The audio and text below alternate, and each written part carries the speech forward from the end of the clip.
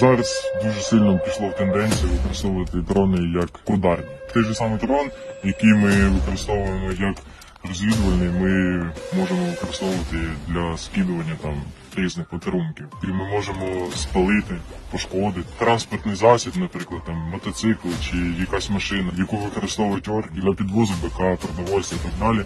Він е, уже не дієспособний. Тобто вже все, в них вже є проблема логістичним забезпеченням. Бачу, що катер пливе, наприклад, е, з орками.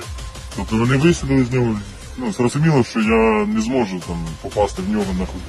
Я бачу, куди він став, я бачу, хто з нього вийшов, куди вийшов. Я знаю, що я можу це зробити. Я беру і роблю. Тобто, вдарили по катеру, класно, він горить. Так же само і з, е, з особовим складом противника. Тобто ми бачимо його скупчення, є можливість, кидаємо. В будь-якому випадку 300-200 орк це набагато краще, ніж живий. Зараз е, якби такі реалії війни пішли, що йде е, бій якби інновацій. Час не стоїть на місці. Треба розвиватися.